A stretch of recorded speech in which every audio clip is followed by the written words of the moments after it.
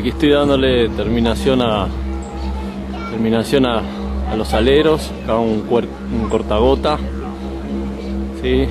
un techo que hice con un machimbre, que hicimos con machimbre. Bueno, esto es membrana que es autoadhesiva, la verdad que funciona muy bien, falta pintar solo esta parte una opción bastante interesante para queremos proteger o cuidar un poco la madera. También le puse en los espacios aquí, por ejemplo, toda la descarga del agua en los aleros. Aquí, por ejemplo, ahí al borde la verdad que queda bastante bien y prolija. Se disimula bastante bien en la estructura abajo también.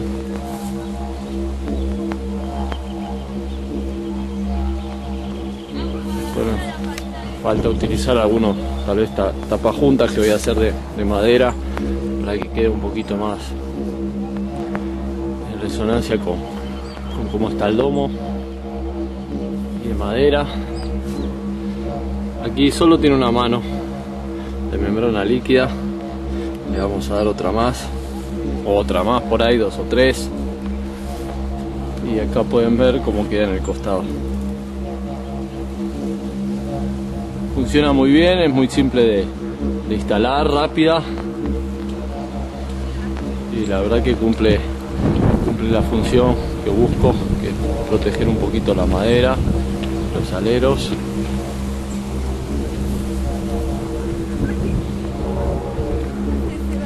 aquí los otros aleros para poder desviar el agua.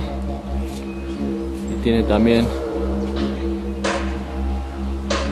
la membrana asfáltica que es autoadhesiva fortalecer un poco ahí el desvío del agua y que no se pudra tanto la madera o a veces las siliconas no secan bien. Bueno con esto lo resolvé seguramente